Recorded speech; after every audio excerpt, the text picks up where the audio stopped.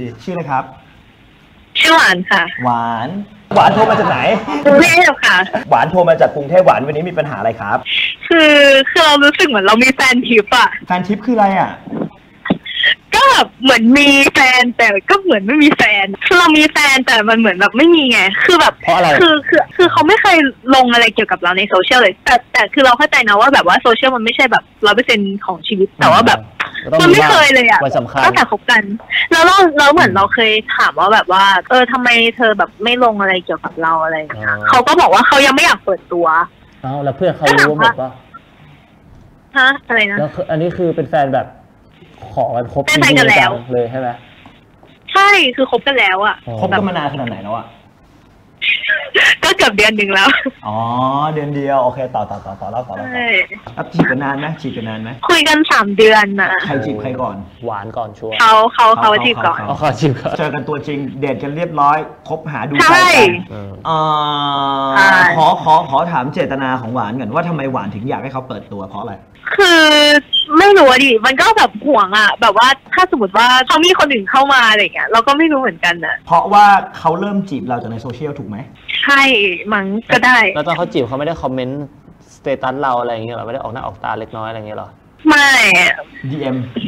มาแบบเงียบๆใต้น้ำได้เข้าใจสถานการณ์คือมีแฟนแหละ แต่ไม่รู้ว่าแฟนเปิดตัวแฟนไม่ยอมเปิดตัวเราสักที แต่ตัวเราเองก็ไม่อยากเปิดตัวก็ยังไม่ได้ไม่กล้าเปิดตัวเหมือนกันรอผู้ชายเปิดก่อนต่างคนรอกันไปรอกันมาแม่งไม่มีใครได้เปิดสักทีเป็นคุณคิดเห็นยังไงกับเรื่องนี้ฮะคุณมีความคิดยังไงเขาบอกได้หลายแง่ว่าแบบเพิ่งคบกันอะไรแบบเนี้ยอ่ายังไม่ถึงเดือนแล้วแบบ ส่งไม่ได้ไม่ได้เจอกันบ่อยแต่คือคุยกันในแชททุกวันงี้ป่ะครับ คุยคุยทุกวันใช่ คอวิดีโอกันทั้งวันทั้งคืนนี้เลยป่ะ บางทีแบบนานๆทีอาจจะคอคือปกติคุยในแชทล้วนๆเลยนะครับ พิมพ์ส่วนใหญ่พิมพ์จะเยอะใช่ไหมใช่ใช่เธอก็แบบเรารู้สึกว่าแบบบางทีถ้ามันแบบเพิ่งคบมาเดือนหนึ่งอาจจะรอดูส่งอีกสักเดือนหนึ่งก่อนอืมก็ไม่แย่อะไรแบบเนี้ยนึกออกป่ะแต่ก็ เราเคยถามเขาตรงๆเลยไหมครับว่าทำไมทำไม เออเราเคยถามว่าแบบเออทำไมอ่าเออทำไมแบบเธอถึงแบบยังไม่เปิดตัวเราหรออะไรเงี้ยอืมเขาก็บอกว่ายังไม่อยากเปิดตัวก็ถามว่าทำไมเขาบอกว่าเขาเคยเปิดตัวคนคุยเก่าไปแล้ว พอเลิกคุยกันก็โดนตั้งคำถามจากคนอื่นเยอะ เราก็เลยอ๋อแต่แบบในใจก็คือแบบนั่นมันคนคุยเก่าอะ แต่นี่มันเป็นแฟนกันแล้วอะเราก็เราก็ไม่เข้าใจเขาเหมือนกันได้บอกเขาประโยคนี้ไหม เออได้พูดป่ะไม่ได้พูดเลยดิ เออเนี่ยเนี่ยประโยคสำคัญเรารู้สึกว่าอันเนี้ยเราน่าจะบอกเขาว่าแบบเฮ้ยสถานะมันไม่เหมือนกันนะนะคนคุยแต่คือกูเป็นแฟนอะนึกออกปะในเมื่อถ้ามึงขอเป็นแฟนแล้วมันกูต้องได้มากกว่า อันอืมคือได้ได้เก่าแล้วคือ ก็ลองหยิบยื่นดูแล้วก็แบบอาจจะแต่แต่ก็ไม่ใช่ไปบังคับให้เขาทำเลยตอนนั้นเนาะมันเป็นผู้ชายแม่งไม่เอชอบอเลยใช่ใช่ใช่ใช่ถ้ายิ่งไปบังคับเขามันยิ่งเหมือนว่าคล้ายๆว่าเขาโพสต์รูปแบบเสียอำนาจฟูๆอ่าเสียอำนาจเสียใช่อำนาจก็แล้วกลายเป็นว่าเราแบบอาจจะดูลาดเราแบบให้เวลาแค่สองอาทิตย์เดือนหนึ่งอะไรแบบเนี้ยอืมแต่ว่าถ้ามันไม่ไปเชิงนั้นสักทีอะไรแบบเนี้ยเราว่าเริ่มตุกติกแล้วแหละอืมมีปัญหาแล้วแหละอะไรแบบเนี้ยก็อันนั้นคือความเห็นของเบนนะฮะอันนี้ความเห็นของเรานะครับอ่าเราขอถามอินดีฟลงลึกมากกว่านี้นิดนึงนะตอบไม่ได้ไม่ไม่เป็นไร ได้กันยังอะฮะ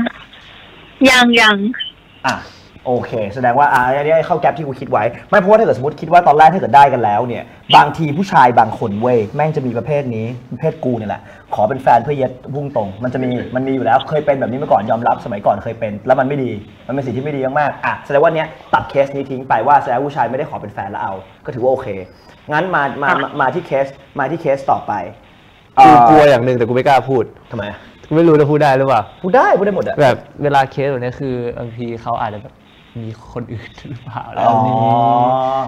เออใช่กำลังจะพูดเรื่องนี้ไม่ใช่ก็เลยกูเนี่ยเพราะกูว่าไม่กล้าพูดเลยกูคิดในใจ เพราะรู้สึกว่าหรือเขาคบซ้อนอยู่หรือใช่เปล่าในอีกคบซ้มุอนมนึงนะอยู่อันนี้อันนี้คิดใน worst case ก่อนนะ ต้องไปสืบมาให้ดี ใช่ในอ่าฮะ worst case คือเขาคบซ้อนหรือเปล่าเขามีคนอื่นหรือเปล่าอะถ้าเกิดสมมติตัดทิ้งไปเขาไม่มีชัวร์ถือว่าโอเค แต่คู่หวานเป็นคู่ที่ประหลาดสัตว์ตรงที่ว่ามึงคุยกันมาตั้ง 3-4 เดือน แต่ไม่ค่อยโทรกัน ไม่ค่อยโทรหากันอืมชอบที่จะพิมพ์แชทมากกว่า เรารู้สึกว่าการการโทรหากันน่ะมันเป็นเรื่องที่สำคัญมากสำหรับเราแต่ของคู่หวานนะคือเหมือนโทรหาคุยกันโทรคุยกันน้อยเกินเอไปอแปลงมันเลยทำให้ไม่รู้ว่าสถานการณ์ตรงนั้นน่ะเขาเกิดอะไรขึ้นอยู่หรือเปล่า เพราะฉะนั้นน่ะสิ่งที่เราสิ่งที่เราเชียร์จากหวานนะตอนเนี้ยลดการโฟกัสเรื่องของการที่ว่าใช้เขาลงรูปหรือบังคับให้เขาลงรูปแฟนก่อน กระชับความสัมพันธ์ให้มันแน่นกว่านี้ก่อนไหมๆโชว์ให้มันชัวร์คำว่าแฟนน่ะไม่ได้บ่งบอกถึงทุกอย่างบนโลกนะใช่ไหมใช่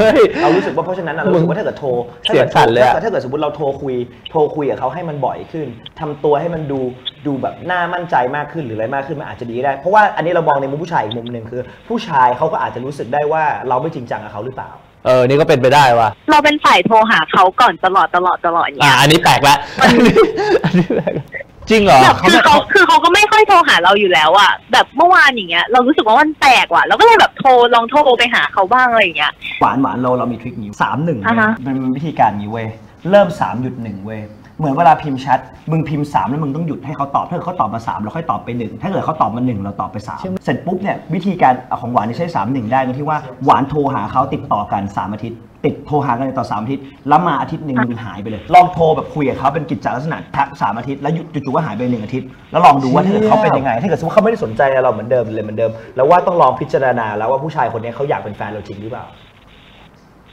หรือเขามีอ๋คอนอื่นได้ไหม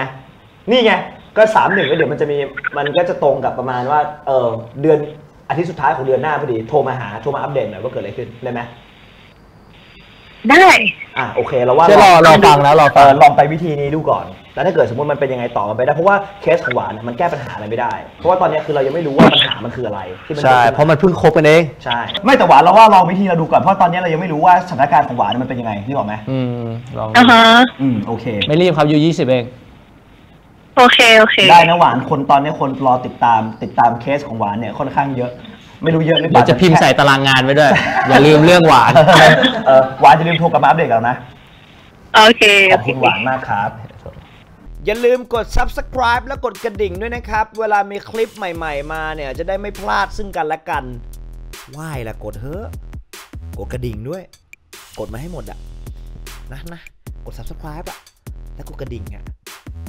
โหใจคอจะดูอย่างเดียวเลยเหรอ ขอร้องอะนะนะนะนะ